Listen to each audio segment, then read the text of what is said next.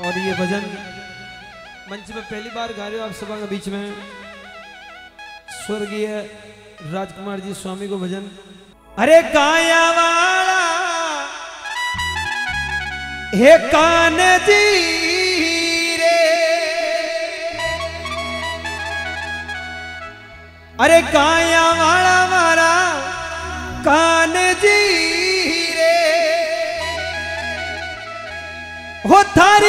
गाया